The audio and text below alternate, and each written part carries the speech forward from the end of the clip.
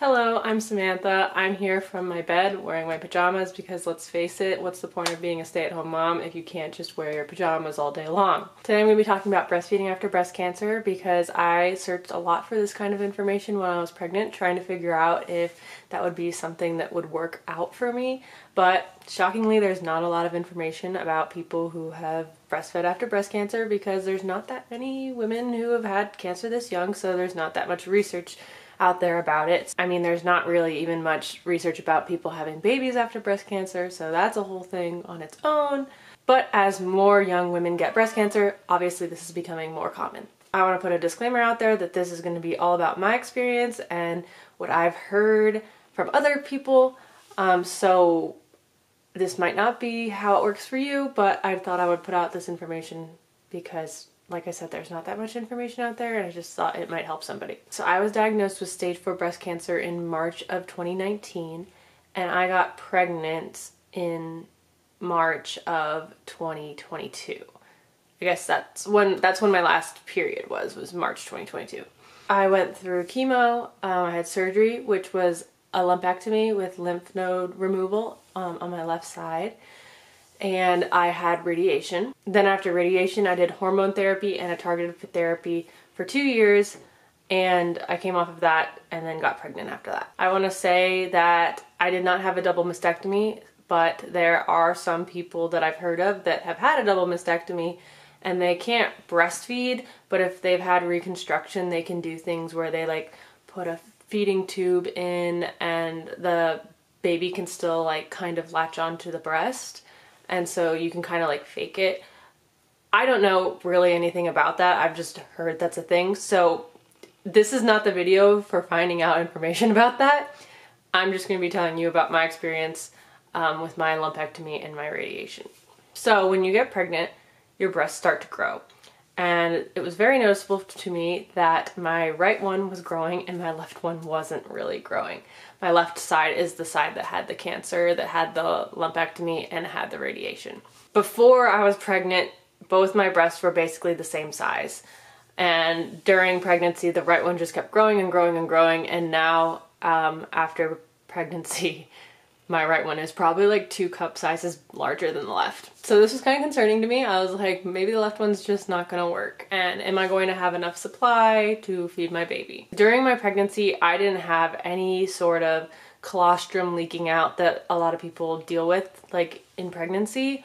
I didn't have any sort of thing like that. So I was just like, is there anything going on at all? Like, am I going to have any milk?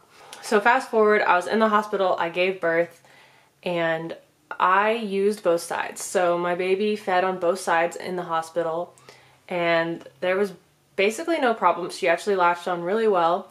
Um, it was interesting because clearly the left side and the right side were different. The, my left nipple is different than the right side just because of like the surgery and the radiation that it went through. I don't really know how to describe it that well, but like when the baby would suck on the right side, the nipple would kind of pop out more and I think it was just easier for her to be on that side and the left side not as much. But like I said, she took both sides and she was fine. It was just kind of like they were different. She actually liked being in the football position on the right side, but on the left she liked more of like the is it the cradle hold? I don't know, the one where you put them across. My milk had not come in yet. I just had the colostrum, but just keep in mind that the first couple days of your baby's life, they do not need to eat that much. Their stomachs are really small. Around like the fourth day of my baby's life, my milk had come in by that point and she stopped liking the left side. Um, it was kind of obvious she would get more upset when I would feed her from that side and then I would feed her on both sides, like at each feeding sometimes, and she would spend longer on the right and enjoy it more on the right. By day five, I basically decided to give up using the left side. Um, she would cry whenever I would try to put her on the left, and she would kind of look over at the right, and she would be like, That's what I want. Like, she would side eye over there and be like, I want this side. And she would just cry, and she wouldn't, she would latch, but then she would just like get upset. And she was just not having the left side anymore. So clearly my milk had come in, but really mainly only on the right side. And so she was not enjoying the left side. And back in the hospital, when we were only talking about colostrum and she was just you know, sucking and on all that. She was fine with the left side, but you know, once the milk came in, she noticed a huge difference between the sides and would really only take the right side. So I gave up using the left side completely at that point, and I didn't feel too bad about it because I'm a part of this group on Facebook called Babies After Breast Cancer. So I'll link that below if you want to join that if you are pregnant and you've had breast cancer. It's a really nice group. Um, and I had asked a question in there about breastfeeding and everyone who commented basically said that they tried on their radiated side but they would only get a few drops and it wasn't even like enough to do anything so i think everyone who commented had given up using their radiated side like a week after giving birth some of them were telling me that they had to supplement with formula and some of them were telling me that their non-radiated side just made up for it and they were able to give their baby enough. So that's what I was hoping for. I was hoping that my right side would just make up for it. And it really is amazing how the body works. That's exactly what happened. My right side did make up for it. So I did just continually use the right side and she got enough milk. Like it was good. There was one point when we thought she might not be getting enough milk and I think we gave her like a bottle of formula one time when she was like a week old um, but we never did that again. And, you know, who knows why she was crying then and because babies cry for all sorts of reasons. but she was gaining weight and, you know, everything was fine. So clearly my right side had made up for my left side. When my baby was about a week old, I noticed that there were some stains in my bra on my left side. So I was like, oh, is there milk in this side that maybe my baby just doesn't like this side and she just doesn't like the nipple or something. So maybe there is milk over there. So I tried pumping over there and I only got like a couple drops. And I tried this multiple times and yeah, only like a couple drops, like not even enough for it to get sucked down into the bottle, like by the pumping machine thing. So it was basically on par with what everybody else said that yeah, they had some milk on that side, but it was just so little that it didn't even matter. I was a little worried about it because I did not want to get mastitis because I didn't want to just stop using the left side and then there was still milk over there and then it would get infected. Didn't want to deal with that. So I was like, maybe I should try just pumping. Um, but I had no problem with that. Um, there just really wasn't anything over there and it would only be a couple drops that would leak out every once in a while and it would stain a little bit inside my bra. After about a month or so of breastfeeding only on my right side, that completely went away. So the left side doesn't do anything at all now. There's no leaking over there, nothing. And nobody else in my group said that they had a problem with mastitis over there either.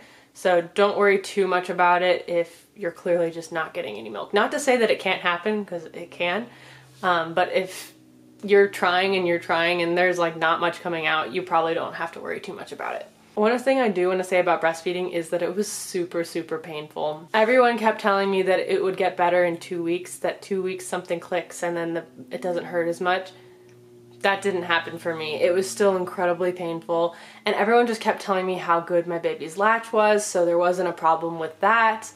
And it was just my nipples were sensitive. And I don't know if it took longer for me because just because of that or if it was because I was only using one side and so there was more strain on the right side than there would be if I was like using both breasts. But it took two months for it to get kind of comfortable for me. Um, after I gave birth, I had some tearing, so my um, OB gave me some pain medication to take.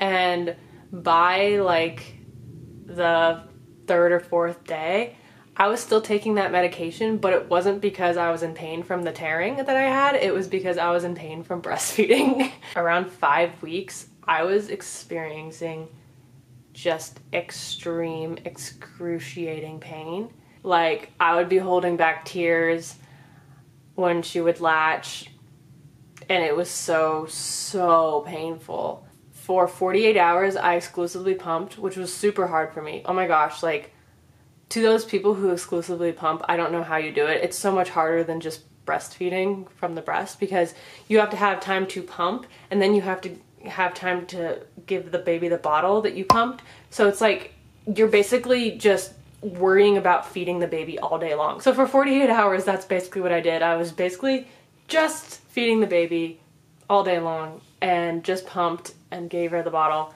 And she hated it. She absolutely hated it because she was used to the breast and she didn't like the bottle as much. She took the bottle and she drank, but she would cry. She would finish the bottle too quickly.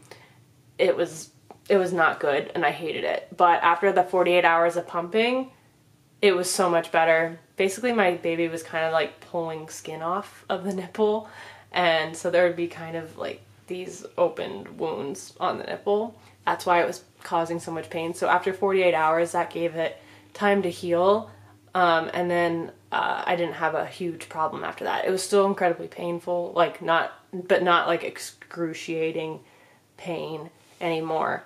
Um, and then, like I said, around when my baby hit two months, something just worked and it's not as painful anymore, which is great. Um, but I will say it took way longer than what anyone would tell me. And the reason that I kept at it for so long was because I was going to be going on a trip when she was three months old and I was going to be taking her on planes and we were going to be going to Disney World. And I didn't want to have to worry about formula feeding because I figured that would just be harder.